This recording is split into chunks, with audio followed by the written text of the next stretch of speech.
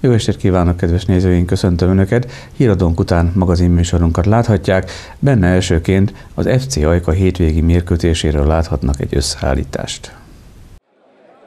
A Merkantil Bankliga hetedik fordulójában szombaton a Sorokság SC látogatott el az FC Ajka otthonába.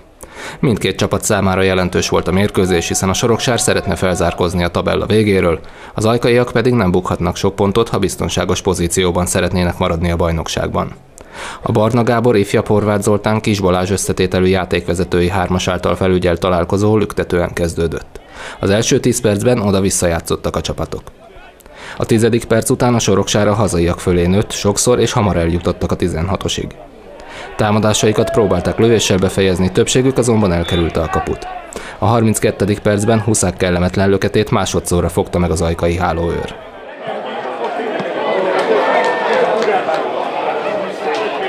A félidő végén ébredt fel a hazai csapat, ekkor többször eljutottak az ellenfél kapuja elé, de az utolsó passzok nem jöttek össze.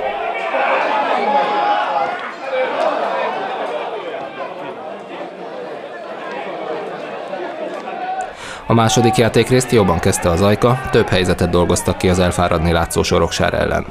Az 53. percben Major kapás lövését szedte ki Holzer a jobb alsóból. 7 perccel később ismét Major lőtt kapura, miután két védőt megvert, de Holzer újból védett.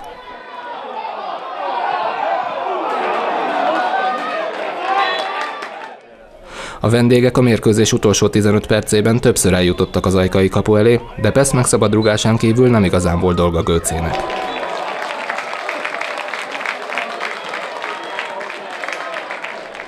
Két ellentétes félidőt követően alakult ki a 0 0 végeredmény, amivel igazán egyik csapat sem lehet elégedett. A gond az, hogy ugye a hazai mérkőzéseink közül ez volt a harmadik, ami nem tudtunk nyerni.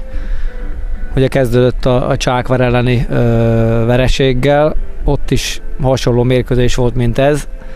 Aztán ugye Gyirmót, az, azt mondom, az még elfogadható, nem elfogadható, de ott ö, jobb volt az ellenfél. Ma is az első fél időben egyébként a, a Soroksár jobban futballozott, mi, mi nem is értettem a csapatot egyébként, mert teljesen mást e, próbált játszani, mint amit kértem. A középpályásai nagyon mélyen visszaléptek labdáért, és onnan íveltünk előre, az teljesen fölösleges volt, két emberre kevesebben voltunk így a pálya közepén, illetve a labda mögött voltunk hatan, ugye nem volt kinek följátszani a labdát. Ezt szünetre megbeszéltük, úgy érzem, hogy a második fél egy picit ebből kifolyólag jobban futballoztunk, meg voltak a lehetőségeink is, de hát azt kell mondanom, hogy a hét mérkőzésből ötön nem értünk el gólt. Ez nagyon gyenge teljesítmény, úgyhogy az az igazság, hogy edzéseken rengeteget gyakoroljuk a, a kapolati szituációkat, ott is sok a hiányosság. Mérkőzésen valódi ellenfél ellen pedig ugye ez még nehezebben megy, úgyhogy hát amíg ezen nem tudunk változtatni, nem tudunk meccset nyerni. Ugyanakkor a védekezésünk, bár már az első félre voltak hiányosságok, de, de azért most akkor ez a harmadik meccs egymásra, ami nem kaptunk gólt, tehát ez, ez pozitívum. Nagyon, nagyon pozitív volt a Göce Gergőnek a mai bravúrja, egy, egy védeni valója volt, az, az bravúrosan szabadrugás kitornázta a, felső sarokból. Hát sajnos, sajnos megint, megint két pontot veszítettünk, és ez nagyon fog hiányozni a későbbiekbe. Összegyűlnek ezek az apró hiányzó pontok a végére, azt gondolom én is. Hát ugye van egy terv az év elején, amit el szeretnénk érni, hogy, hogy uh, hogyan fessen a tabella, hány pontot szerezzünk ugye úgy számolunk, hogy 5 mérkőzésenként átlagban egy 7 pontot kell szerezni, akkor, akkor helyünkön tudunk lenni, tehát akkor 40 pont környékén elfogadható a, a helyezés, meg, a, meg a, a, az eredmény. Hát ettől messze vagyunk. Mit tudunk tenni? Én is azt láttam, hogy mintha nem ugyanaz a csapat játszott volna az első és a második fél Az első nem nekünk állt, másodikban viszont ö, voltak egész jó helyzeteink is, amit nem tudtunk góra váltani. Hát ugye ez a lényege, hogy hiába van helyzetünk, ha nem tudjuk góra váltani.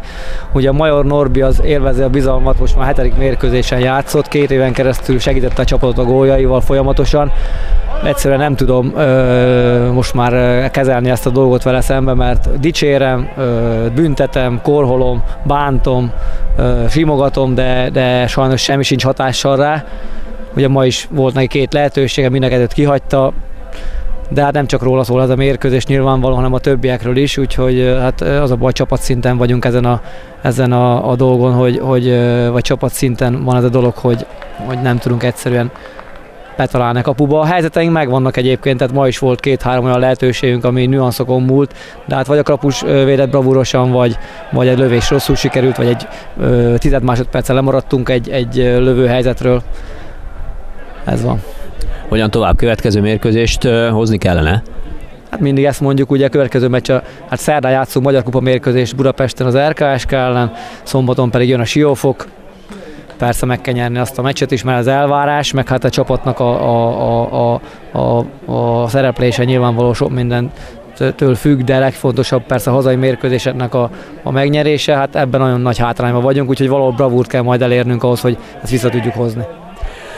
Úgy gondolom, a játékképe alapján minden benne volt ebben a mérkőzésben minden, igen, pont arról beszélgetünk, hogy a pontozás, hogy box meccs lett volna, akkor valószínű, hogy mi jöttünk volna ki győztesen. Jól kezdtünk, pontosabban játszottunk, lendületesek voltunk, szélén tudtunk bontani, mert azt kértem, hogy próbáljunk egy egyezni a két szélén. Nagyon sokszor mögé tudtunk menni, de nem volt jó döntés a végén, nem tudtuk befejezni a támadásokat és itt látszik az, hogy mind a két csatárom sérült operáció előtt állnak, de azt mondom, hogy is a fiatalok elég jó hely, helyt álltak helyettük. A másodikban jött egy holdpontunk, volt egy rossz 20 percünk, ami én egy kicsit az utazásnak tudom, hogy három és fél órát jöttünk busszal, és a véghajrába viszont szintén nekünk volt két óriási lehetőségünk. De most azt mondom, hogy persze mérges vagyok, de valahol itt ajkán, idegenbe egy pontot elhozni nem rossz, csak nekünk már jó lenne nyerni. Így vagyunk ezzel mi is. Az első fél időben akár eldönthették volna a mérkőzést.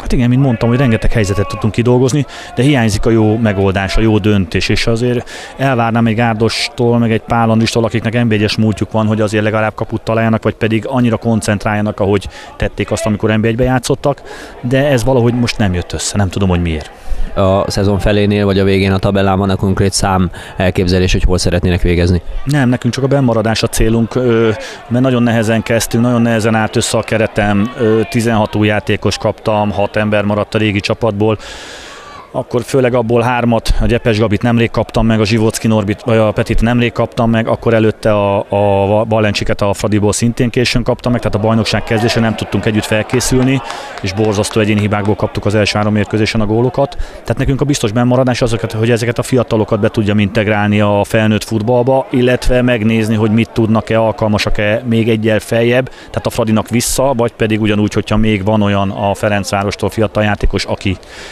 az ottani szakvezetés érdemesnek tart arra, hogy megmérettessük, akkor nekünk fogadni kell, be kell rakni, játszatni kell, de nekem ez nem okoz gondot, mert én rengeteget dolgoztam az utánpótlásban, én szeretem a fiatal játékosokat, de csak az éheseket.